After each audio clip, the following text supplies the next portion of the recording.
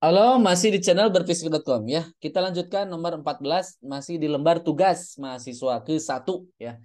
E, temanya kinematika dan dinamika. Nomor 14 ini dinamika benda titik ya dinamika e, tentang aplikasi ya, aplikasi e, hukum Newtonnya untuk bergerak gerakan melingkar ya. Oke.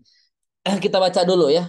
Seorang penumpang dengan massa 85 kg bergerak dalam lintasan lingkaran dengan jari-jari R 3,5 meter dengan laju konstan. Nah, ini kan dengan laju konstan berarti uh, dia ada percepatan sentripetal ke pusat ya. Jadi kalau uh, gerak melingkar dengan laju konstan, teman-teman harus diingat ya. Jika ada gerak melingkar ya dengan laju konstan. Nah, berarti dia bakal bergerak melingkarnya ber apa beraturan ada akan ada percepatan sentripetal yang arahnya menuju pusat lintasan lingkaran. Percepatan sentripetal ya. Nah, besarnya percepatan sentripetal nilainya berapa? E, v kuadrat laju y v, v kuadrat per r ya, v kuadrat per r. Oke. Okay. Nah, A Gambar A di samping adalah grafik dari besar F yang diperlukan dari gaya sentripetal untuk rentang nilai kecepatan penumpang V. Nah, jadi ini F sentripetal ya. Ini V-nya lajunya ya. Hitung kemiringan grafik pada V 8,3. Nah, kita ingin mencari kemiringan grafik ya. Nomor A ya. Nomor B, gambar B adalah grafik F terhadap periode T yang mungkin. Hitung kemiringan grafik. Nah, sama. Kemiringan grafik F dengan periode kalau untuk B ya. Oke, kalau gaya sentripetal berarti apa? Masa dikali percepatan sentripetal. Berarti masa dikali V kuadrat per R ya. Ini F sentripetal. Nah, seperti itu ya. Oke. Nah, kita jawab dulu nomor A. Nah, oke. Okay.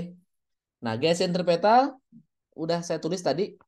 Gaya sentripetal yang dialami penumpang. Pada penumpang aja lah. Yang dialami penumpang adalah F sama dengan MV kuadrat dibagi R. R itu jari-jari lintasan. Nah, kemiringan grafik, teman-teman. Kalau kemiringan grafik itu artinya apa? Gradien kan. Kemiringan grafik itu kan biasanya sumbu Y delta sumbu Y dibagi delta sumbu X gitu kan.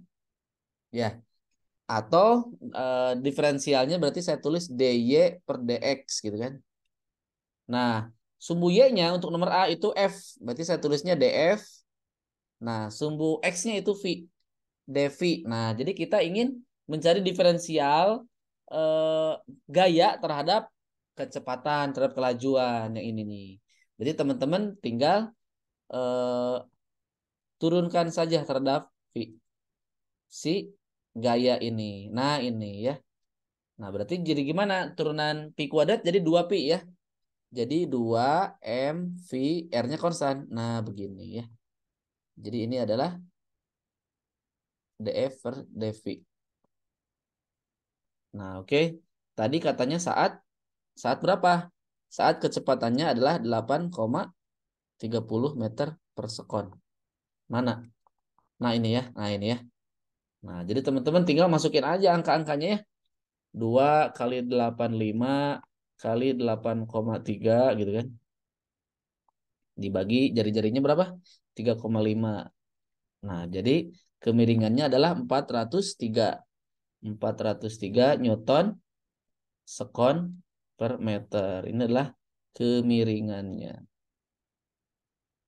Ah, itu teman-teman. Nah, sekarang untuk nomor B. Sama kan kemiringan juga, berarti kita ingin mencari DF dibagi DT periode kan? Tuh kan? F dengan T periode dengan waktu tempuhnya ya. Nah, pada gerak melingkar pada gerak melingkar Nah, satu periode itu gimana? Itu adalah jarak yang ditempuh yang ditempuh satu putaran berarti kan 2 PR kan jaraknya dibagi lajunya. Oke. Okay? Nah, sehingga kita punya F sama dengan MV kuadrat dibagi R. Nah, jadi si CP-nya kita ubah M per R dalam kurung 2 PR per V ya. Eh, sorry, 2 PR per T.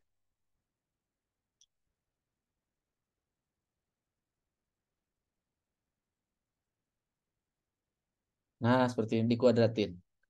Nah, jadi nanti akan mendapatkan 4 pi kuadrat mr dibagi t kuadrat. Itu adalah gayanya. Berarti kita ingin mencari eh, df-nya ya terhadap dt. Nah, begini kan. Kita ingin mencari ini. Nah, berarti teman-teman turunkan saja terhadap t. Berarti kan eh, minus 8 pi kuadrat gitu kan. MR-nya tetap konstan. Nah, T kuadratnya jadi pangkat 3 kan. Nah, tapi ini terhadap DT gitu. Ya. Oke, DT-nya hilang kan udah di bawah ya. Nah, seperti itu ya. Sehingga kemiringannya udah ada, udah nemu nih.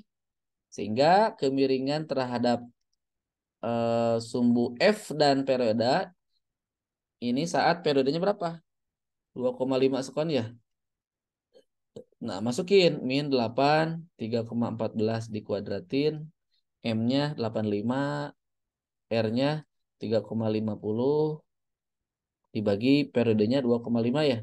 2,5 pangkat 3. Nah, jadi kemiringannya adalah minus 1,5 kali 10 pangkat 3 Newton per sekon. Ini ya. Nah, jadi udah jawabannya ketemu untuk nomor B ini minus ya. Untuk nomor A ini kemiringannya. Nah, itu ya. Karena kenapa minus tuh? Kan dilihat dari grafik aja kan dia eh, arahnya turun. Kemiringannya turun. Kalau ini kan kemiringannya naik positif. Kalau ini kan kemiringannya turun, berarti negatif ya. Berarti jawaban kita udah benar sesuai ya. Itu saja untuk nomor 14, berarti tinggal nomor 15 satu lagi ya. Tetap semangat dan dukung terus channel ini agar channel ini senantiasa memberikan ya uh, ilmu-ilmu yang bermanfaat, ilmu-ilmu yang sangat mendalam terkait tutorial atau lembar uh, tugas mahasiswa ataupun nanti soal ujian saya bahas atau soal kuis ya.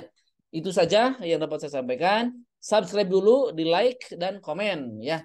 Sampai jumpa. Salam berfisika.com. Dadah.